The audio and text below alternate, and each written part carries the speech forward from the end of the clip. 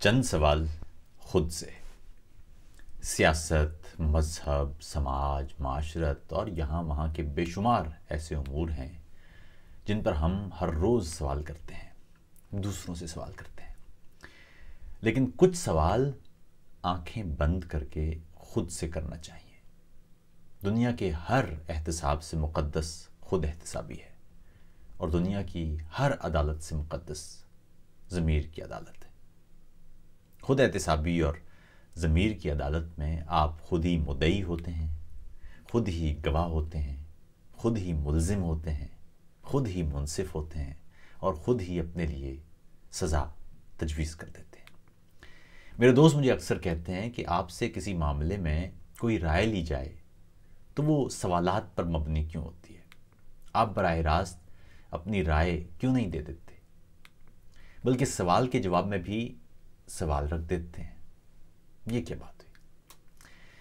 मुझे लगता है कि ऐसी हर राय जिसमें हतमी होने का अहतमाल हो, वो कभी बेहतर नहीं हो सकती। गलत और सही दोनों इजाफियती चीज़ें हैं रिलेटिव हैं। हर सही में कहीं ना कहीं कुछ गलत होता है और हर गलत में कहीं ना कहीं कोई सही ज़रूर होता है। हम अपने लिए सही और गलत का तयन अपने माशरे में मौजूद अकदार से करते हैं। और ये अकदार, ये रवैये, ये रसूम, ये रिवाज, चूँकि हर माशरे में मुख्तलिफ़ होते हैं, इसलिए सही और गलत मुख्तलिफ़ माशरों में मुख्तलिफ़ होता है।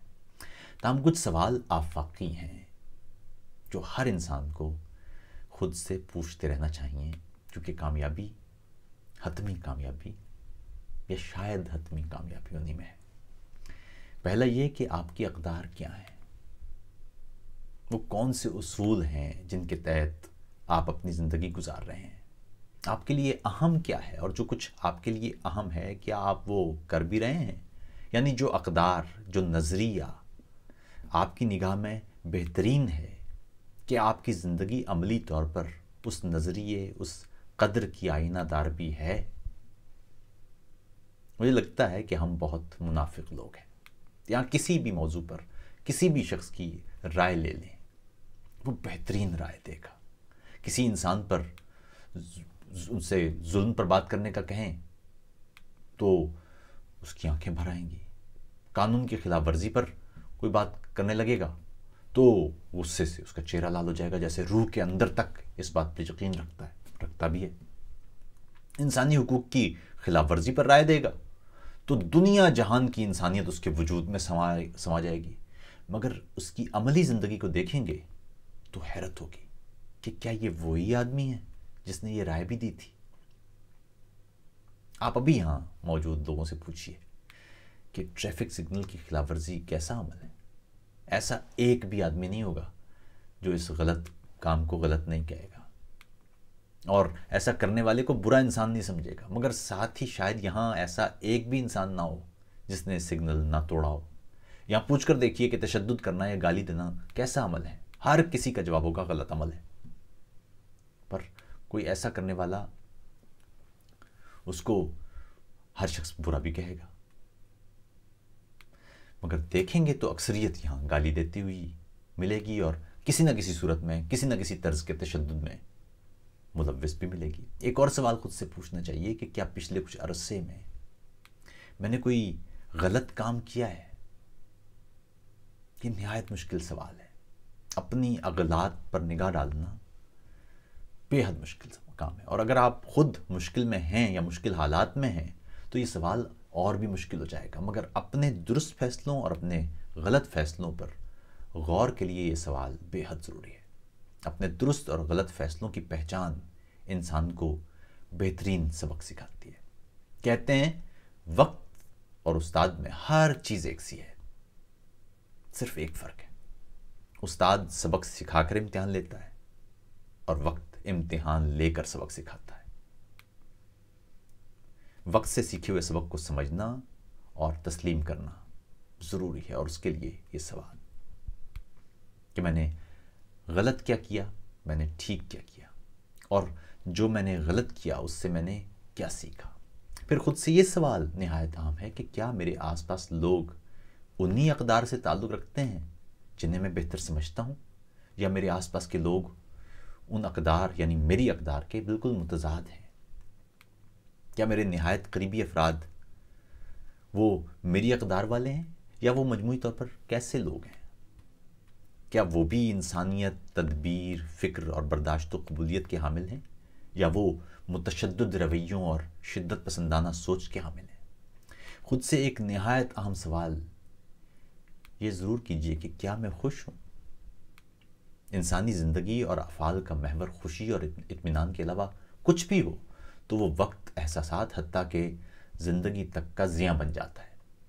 अगर आप वही कुछ कर रहे हैं जो आप करना चाहते हैं तो फिर उदास तरीन और मुश्किल तरीन सूरत हाल में भी आप खुश और मुतमिन नहीं होंगे। याद रखिए, अमल और नतीजा, ये यकीनन एक दूसरे से जुड़े हुए हैं।